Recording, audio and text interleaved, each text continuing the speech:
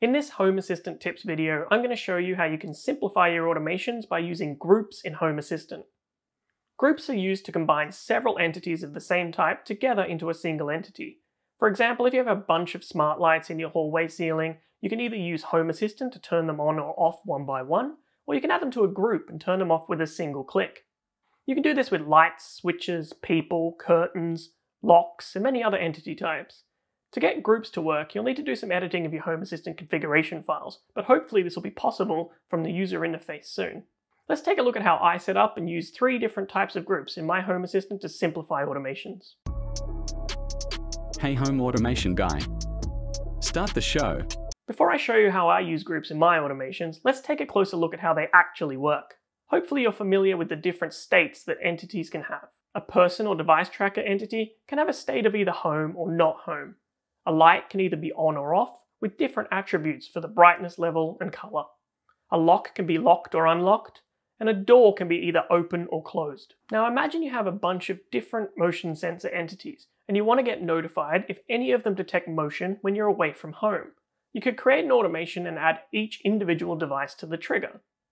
That is definitely an option and would work perfectly fine. Or you could add all these motion sensor entities to a single group called All Motion Sensors. The group will inherit the state of the entity that is non-standard. For example, if you have three motion sensors in your group and one of them detects motion, then the whole group is set to that detected state. If you have a group of smart locks and any of the locks is unlocked, then the whole group will be set to unlocked. If you have a group of people or device trackers and one of those people is home, then the whole group is set to home. If you have a group of lights and any of these lights is switched on, you guessed it, the whole group is switched on. These groups may seem unnecessary at first, but let's look at how you can create and use a group, which will make it easier to understand why they're really useful. To create a group, you'll need to modify a configuration file. You'll hopefully already have the file editor plugin installed in Home Assistant, and then you can navigate to the groups.yaml file. First, we're going to create that group called All Motion Sensors. Give it a key, in this case All Motion Sensors with underscores, and then add a name property which will give it a human readable name. Now we can add the entity IDs of all our individual motion sensors one by one. Click the Save button, and now we need to reload these groups into Home Assistant so that it can see them. To do this, go to Configuration, and then to Server Controls. I would suggest that you now check your configuration to make sure you've not made any typos, you should do this after every configuration file change that you make. If everything looks good, you can either restart Home Assistant, or you can just reload the groups file, which will be much faster. If you now go to the developer tools, you should see that group you created and the state that it's in. If we switch back to the original automation that we were creating to notify us if motion was detected in the house when we're away, we can replace all of these individual motion sensor entities with one group like this.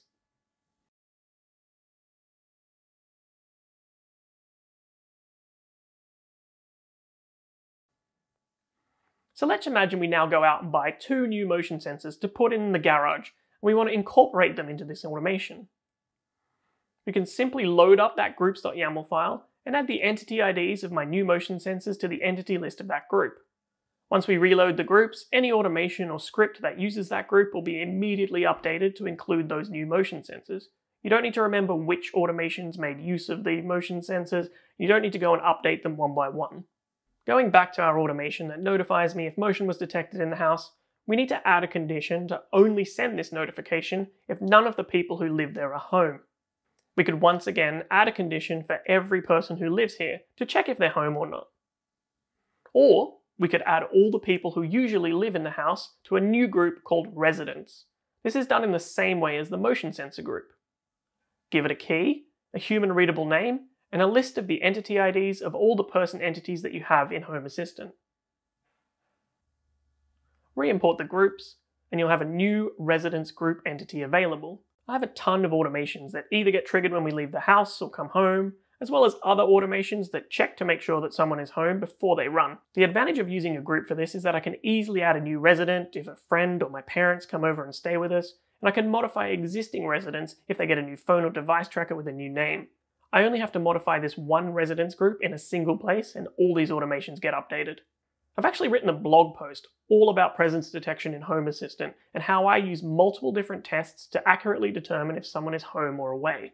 I've linked to this blog post in the description below, and I highly recommend that you check it out. The final type of group that I use in my house is a light group, which, you guessed it, is a group of lights. I have some smart lights that I never really control individually, only ever in groups, and it's super annoying to individually turn on and off these lights. For example, I have two ceiling lights in my hallway, which I've grouped together like this, and I use my office lights group to quickly turn on or off all the lights in this room. Some people might use areas in Home Assistant to achieve similar results, but this doesn't always work. For example, I have an area called Kitchen, but three different light groups, one for the ceiling lights, one for the floor lights, and one for the cabinet lights. I rarely want to turn all of these lights on at once, and I never want to turn on these lights individually. I use different combinations of these groups to achieve different mood lighting depending on what I'm doing. Unlike the two other groups that I've spoken about in this video, light groups are a different type of group entirely. Before you ask, I have no idea why. I'm sure there's some sensible reason for it, but I don't know what it is. Light groups are also configured in a configuration file, but in the standard configuration.yaml file rather than the groups.yaml file. The concept is similar though. Go to your file editor and edit the configuration.yaml file. If you have an existing key in this file for lights, you can append the group configuration there. If you don't, then just create a new light key. Then, create an entity for the platform and tell it that it's a group. Now, give it a human readable name, just like before, and add the entity IDs of all the lights you want to add to this group. Save the configuration file, go to the server controls area of Home Assistant, and check your configuration. If everything looks good, you'll need to restart Home Assistant.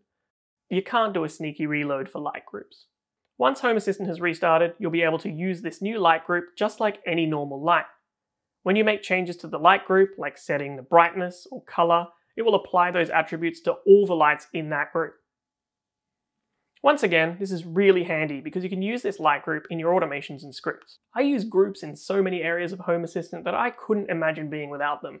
If you want to see more ways that I use groups to simplify my automations, check out my lighting, door sensor, and motion sensor automation videos. If you found this video useful, please give it a thumbs up to let me know. I regularly release videos about home automations, so if this is your jam, then click the subscribe button so that together we can make your home smarter.